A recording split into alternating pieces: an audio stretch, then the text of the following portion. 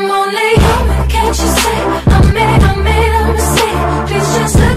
my. Wow, my hair is always in abundant videos, and that is, of course, another black girl problem related because my natural hair is growing out way too much under these braids. So when I put it down, it looks like just like a box, and I ain't trying to have a box on my head. Like, I'm not doing it. Like, I'm not doing it. I'm an idiot. My camera was zoomed in, but of course, you know. First things first, if you're a black girl, you already know this hair pudding gel and this brush is your best friend when you get in them edges laid. Like, this bun didn't look this good from just putting it up. It involved time, time to get this hair put in all over my edges and get my edges pulled back. Like I'm stretching my face like, just to get my edges laid like, like I'm like. Hey, what is up, my real fam? It's Queen Debbie, but you can call me Debbie, and I am back with another video. And this one is about black girl problems. So it's just about all the issues that I face on a daily basis, just being a black girl and trying to live my life and just, I'm just trying to get it how I live I want some dead presidents.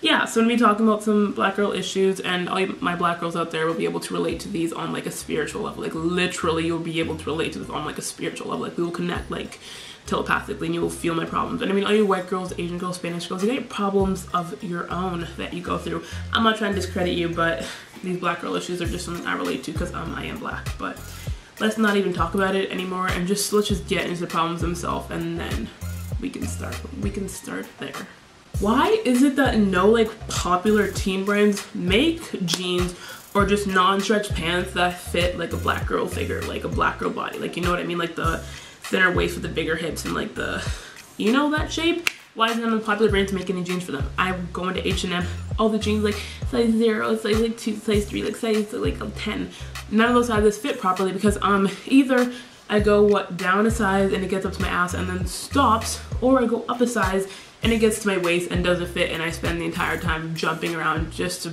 bring my jeans up so they don't fall down. Like, why can't you just make pants for all my black girls out there with a slim thick figure? Like, I'm just trying to get some nice jeans that make me look real good and not have to walk around struggling, jumping to keep these pants on. Like,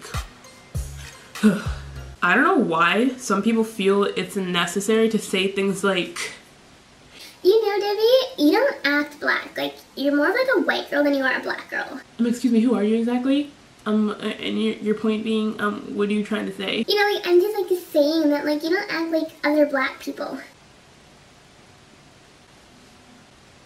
I don't know who you are or who you think, like, what you think you can do to come to me and tell me I don't act like I act more like a white girl with it? What, what does that mean? Okay, I'm sorry that I occasionally go to Starbucks and I follow the cliche white girl rules, but um, as far as like I'm concerned, there wasn't like specific like things you had to meet to be considered black, or like specific like specifications that you had to meet otherwise you weren't black. Like I don't know who you are, who taught you that, but they did you wrong, and you're doing me wrong now. You're doing me wrong. This one I think is the biggest struggle of them all and it is about doing hair and how doing hair is literally an event. When I did these braids, I had to plan like three weeks ahead. I had to go to work, like book off days, make sure I'm not hanging out with nobody, make sure mom's not working, make sure I'm not working, not doing anything.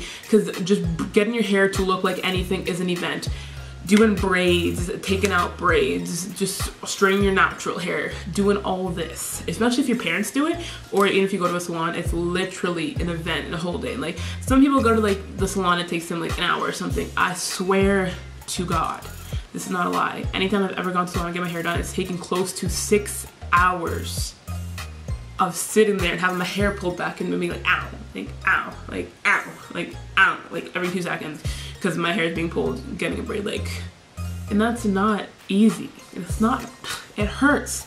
These braids hurt. Like, you don't know how tight they are pulling on your hair and going to sleep the next day. You gotta take Tylenol before you lay down and be like, where'd you cry? Because your hair is so tight. Like, that's a, that's a serious issue right there. Hair is difficult. Like, having natural hair, washing natural hair, straightening natural hair, getting braids and all this stuff is not just a simple thing. It is an event in itself. This one is just straight up disrespectful when people do it, but what is with anybody asking, can I touch your hair? Or just like straight up touching your hair without like even, not even addressing you, just touching your hair. I don't know who taught you do I look like a dog? Do I look like an animal that you can just go and pet? Because as far as I know, I'm a human, I'm not. I don't know who taught you to like pet humans, but I'm not your dog. Um, I'm not just something you can go and pet. I'm not like an animal.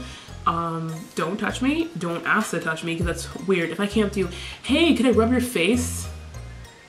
I mean, that's extreme, but seriously, like, hey, can I rub your face? Like, or just straight up touch your face. Well, your face is different from mine, so I just wanted to, like, see what it was like. Um, who are you? Don't touch my hair. Don't touch my hair. Going outside when it's raining or going swimming with friends is a trouble, is just a hassle. Like when it's raining outside and I like go somewhere and it wasn't raining when I got there so I didn't bring a jacket or an umbrella or prepare to protect my hair and then I'm getting ready to leave that place and it is pouring outside and either I just got my hair done or you know at any point getting your hair wet is the worst thing ever one because your hair your natural hair will go straight from like because your hair will go from being like all good and like soft or whatever to being increasing like four times the size and just like drying out and going out in the rain is the worst. You end up doing something like putting a bag over your head. Like no holds bound when it comes to that. I'm taking a bag. I'm putting it over my head. I don't care what anyone thinks. I'm protecting my hair. And then going swimming as a child, they used to wear a shower cap. Like I think everyone did. Like going to a water park, you're wearing a shower cap. Like your parents will make you wear a shower cap. But going swimming, I either um, plan to go swimming when it's a day I'm taking out my braids or I have natural hair and so I can wash it. Or um, I just avoid getting my hair wet as like, much as possible. As like as much as possible. As much as possible. This one is again what you doing when you do this kind of shit. Coming at me with You're pretty for a black girl. I don't know who taught you. Who taught you that addressing someone saying they're pretty for a black girl was a compliment? And are you are you saying every black girl's ugly or something, or like consistently these black girls are known to be ugly? I don't know what I don't know what stereotype you follow in or what what what your mind process is when you said, "Hey, you're pretty for a black girl." Like that's me going up like like I don't know, like going up to a white person and being like, "Hey, you're not that ignorant for a white person." Like that's not a compliment. Like that's not a compliment. Like that's you're trying to compliment them. Like why if you're gonna say anything, just be like you're pretty. That's it. Or being like you look nice today. No, you look nice for a black girl. Oh, yikes! I'm feeling the pain from that. That's a. Don't do that. Don't do that. Don't. Yikes. When you go to sleep with like your bonnet, hair cap, hairnet thing on, whatever you address it as, I call it a hairnet because that's me. I literally don't know where mine is, so I'm gonna start a few pictures of like hairnets and bonnets and just silk bonnets and all that good stuff right over here. But you go to sleep with one on, and sometimes I even have to put two on. Like once I get my hair done or braids done, I gotta put like two on, like one in the front, like one in the back, and like another one like wrapping around, make sure it doesn't fall off. And then you wake up in the middle of the night and it's gone. And it's gone. And you're tired, you're trying to sleep, but you have to find it because you, you're not waking up with no messed up hair. Like you just got your hair straightened, you gotta keep that bonnet on. You just got your braids done, gotta keep them edges laid. I'm not trying to go to school with a messed up hair because my bonnet, hair cap, hairnet thing fell off. And I don't know where mine is right now, so it explains why my edges are always yikes, yikes, yikes. So this is high key, kind of funny. It doesn't have me as, to me as much anymore because I used to get my hair permed and straightened, so it looked like bone straight and it actually like looked nice. But I just hate putting chemicals in my hair. But then people would literally, this happened in grade five or something, or grade six. Someone literally said to me, because this is the first time I ever straightened my hair, they said to me, Debbie, why are you wearing a wig?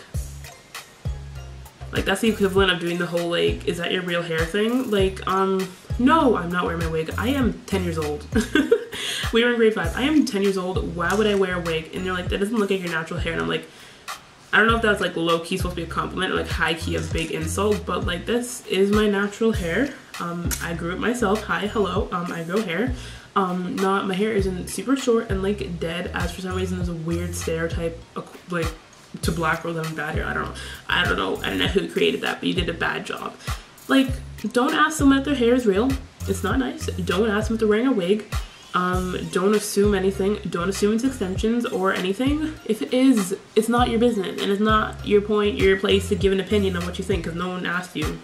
Like if I wanted to know, hey, does my hair look good or does my hair look real or something like that, I don't know why anyone would ever ask if my hair looked real, but if they did, sure, then give your opinion. Otherwise, keep it shut, okay? I'm playing with this if you're wondering what that noise is.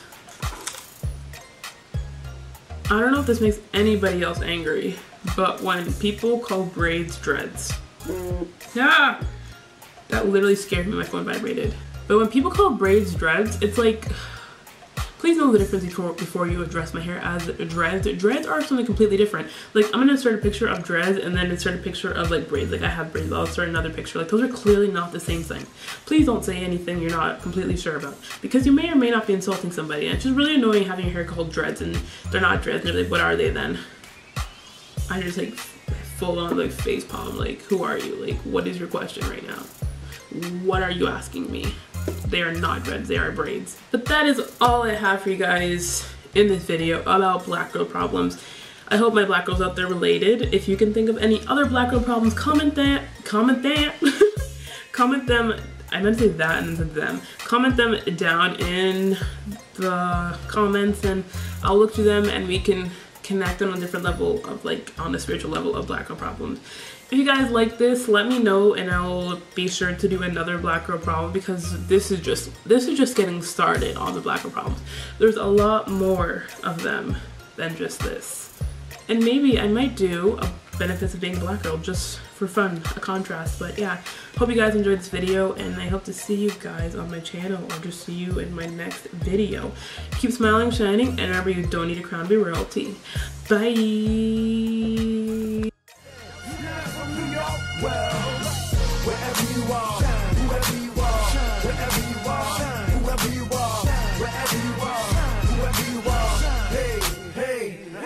Ya, riding with my top down, with my jury on. Hey, I'm just getting my hood on. I'm just, I'm just doing my thing. I'm just, I'm just doing my thing. Hey.